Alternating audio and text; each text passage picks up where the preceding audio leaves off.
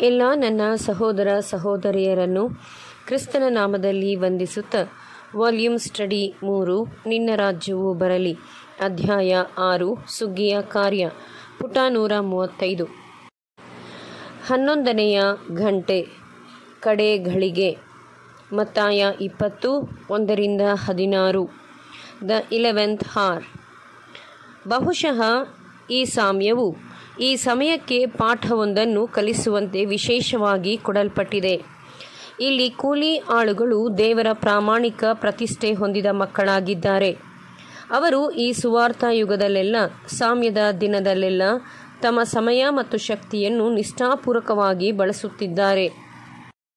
ಅದು ತಮ್ಮ ಸೇವೆಗಾಗಿ ಅಲ್ಲ, ಧನಪಿಶಾಚಿಯ ಸೇವೆಗಾಗಿಯೂ ಅಲ್ಲ, ಆದರೆ ದೇವರ ಸೇವೆಗಾಗಿ.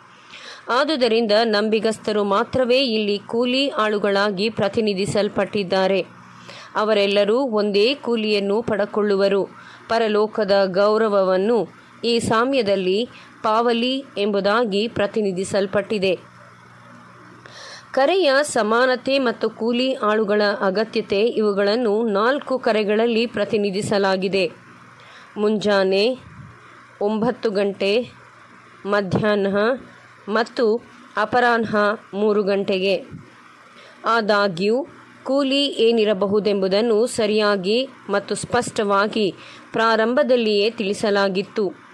ಮನೆ ಯಜಮಾನನು ಅವರಿಗೆ, ನಿಮಗೆ ಸರಿಯಾದ ಕೂಲಿಯನ್ನು ಕೊಡುತ್ತೇನೆ ಎಂದು ಹೇಳಿ, ದಿನಕ್ಕೆ ಒಂದು ಪಾವಲಿ ಎಂದು ಗೊತ್ತು ಮಾಡಿದ್ದನು. ಹೀಗೆ ರಾಜ್ಯದ ವಾಗ್ದಾನವನ್ನು ಆದಿಸಭೆಯವರು ಸ್ಪಷ್ಟವಾಗಿ ಅರ್ಥ ಮಾಡಿಕೊಂಡಿದ್ದರು. ಆದರೆ ನಂತರದಲ್ಲಿ ಮುಖ್ಯ ದೃಷ್ಟಿ ಕಳಕೊಂಡವರಾಗಿದ್ದು ಸ್ಪಷ್ಟವಾಗಿ ನಿರೂಪಿಸದೆ ಹೋದರು. ಕ್ರಿಸ್ತನ ಸಭೆಯಲ್ಲಿ ಜೀವಿಸುವ ಸದಸ್ಯರುಗಳು ಈ ಸುವಾರ್ಥ ಯುಗದ ಯಾವುದೇ ಸಮಯದಲ್ಲಿಯೂ ಆತನ ದ್ರಾಕ್ಷಿಯ ತೋಟದಲ್ಲಿ ಕೆಲಸ ಮಾಡುವವರಾಗಿದ್ದು ಎಲ್ಲ ಕೂಲಿ ಆಳುಗಳನ್ನು ಪ್ರತಿನಿಧಿಸುತ್ತಾರೆ. ಸಾಮ್ಯವು ಅದರ ನಿರ್ದಿಷ್ಟವಾದ ವೈಶಿಷ್ಟ್ಯತೆಯಲ್ಲಿ ಈ ಸೇವೆಯಲ್ಲಿ ದಿನದ ಕಾರ್ಯವು ಮುಗಿಯುತ್ತಾ ಬರುವ ಸಮಯದಲ್ಲಿ ಕಡೆಗಳಿಗೆ, ಅಂದರೆ ಹನ್ನೊಂದನೆಯ ಗಂಟೆಯಲ್ಲಿ ಪ್ರವೇಶಿಸಿದವರ ಬಗ್ಗೆ ತಿಳಿಸುತ್ತದೆ. ಅವರುಗಳು ಕರ್ತನ ಸೇವೆಯಲ್ಲಿ ಆಸಕ್ತಿಯಿಂದ, ಆದರೆ ತಡವಾಗಿ ತೊಡಗಿಕೊಂಡವರನ್ನು ಪ್ರತಿನಿಧಿಸುತ್ತಾರೆ. ಆಗ ಸಾಮಾನ್ಯ ಕರೆಯು ಮುಗಿದಿರುತ್ತದೆ. ಅವರು, ಯಾರೂ ನಮ್ಮನ್ನು ಕೂಲಿಗೆ ಕರೆಯಲಿಲ್ಲ. ಆದುದರಿಂದ ನಾವು ಈ ಕರೆಯ ಮೂಲಕ ಕೆಲಸದಲ್ಲಿ ತೊಡಗಲು ತಡವಾಯಿತು ಎಂದು ಹೇಳಿದರು. ಕರ್ತನು ಅವಕಾಶದ ಬಾಗಿಲನ್ನು ಸೂಚಿಸುವವನಾಗಿ ಆತನ ಸೇವೆಯಲ್ಲಿ ಶ್ರಮೆಯಲ್ಲಿ ತೊಡಗಿಕೊಳ್ಳುವುದಕ್ಕೆ ಅದು ಇನ್ನೂ ಮುಚ್ಚಿಲ್ಲ ಎಂದು ಹೇಳುತ್ತಾನೆ. ಆದರೆ ಮುಚ್ಚುವಿಕೆ ಕತ್ತಲೆ ಬರುವುದನ್ನು ಸೂಚಿಸುತ್ತದೆ. ಯಾಕೆಂದರೆ ಕತ್ತಲೆಯಲ್ಲಿ ಯಾರೂ ಕೆಲಸ ಮಾಡಲಾರರು.